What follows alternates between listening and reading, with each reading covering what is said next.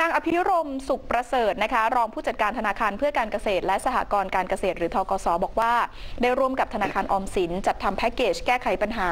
หนี้นอกระบบแบบบูรณาการ โดยจะออกบัตรกดเงินสด หรือว่าแคชการ์ด1 0 0 0 0แบาทอ่า1 0 0 0 0 0บาทด้วยกันนะคะ วงเงินรวมอยู่ที่ 5,000 ล้านบาท รองรับกรณีลูกหนี้ที่มีเหตุฉุกเฉินจำเป็นต้องใช้เงิน หรือนำเงินไปจ่ายค่างวดและดอกเบี้ย เบื้องต้นกำหนดวงเงินสูงสุดที่จะใส่ไว้ในบัตรแคชการ์ด50,000 บาท ขึ้นอยู่กับการพิจารณาเรื่องความจำเป็นและความสามารถในการชำระหนี้ของแต่ละบุคคล ซึ่งวงเงินที่เปิดจะมีตั้งแต่ 5,000 บาท 10,000 บาท และสูงสุดคือ 50,000 บาท เพื่อคนที่เข้าร่วมโครงการจะได้มีเงินฉุกเฉินไว้ใช้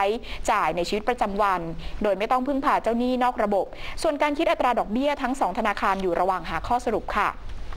แพ็กเกจนี้นะคะเป็นการป้องกันไม่ให้ประชาชนกลับไปเป็นหนี้นอกระบบอีก ซึ่งตามแผนที่วางเอาไว้ทั้งสองธนาคารจะเปิดลงทะเบียนลูกหนี้นอกระบบ โดยจะพิจารณาหนี้นอกระบบที่มีอยู่ และแก้ไขหนี้นอกระบบให้แล้วเสร็จ ก่อนจะดำเนินการในส่วนของบัตรแคชการ์ดคาดว่าจะเปิดตัวในเดือนพฤศจิกายนนี้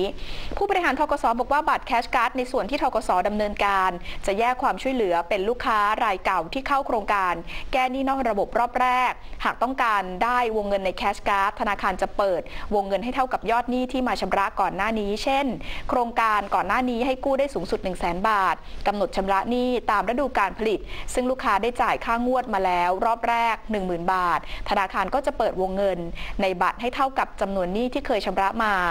อีกกลุ่มคือลูกหนี้ที่เข้าร่วมโครงการใหม่ จะดูความจำเป็น และความสามารถในการชำระหนี้ว่าชำระเป็นงวด หรือว่าชำระเป็นฤดูการผลิตค่ะ